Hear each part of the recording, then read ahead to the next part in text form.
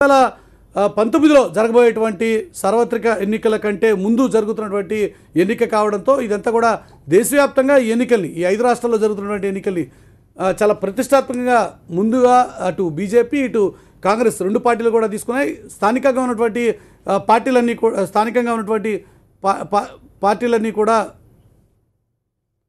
వారితో పాటు అసోసియేట్ అయినటువంటి విషయాలు మనం గమనించవచ్చు. ఖమ్మంలో ప్రస్తుతం నమా నాగేశ్వరరావు తెలుగుదేశం పార్టీకి సంబంధించిన సీనియర్ నాయకుడు గతంలో ఎంపీగా పనిచేసినటువంటి అనుభవం ఉంది. నమా నాగేశ్వరరావు తన ఓటు వినియోగించుకోవడం కోసం వస్తున్నటువంటి విజువల్స్ మనం గమనించవచ్చు. చాలామంది రాజకీయ ప్రముఖులు ఇప్పటికే తమ ఓటు హక్కుని వినియోగించుకున్నారు. సెలబ్రిటీస్ కూడా వచ్చి పెద్ద సంఖ్యలో తమ ఓటు హక్కుని వినియోగించుకున్నారు.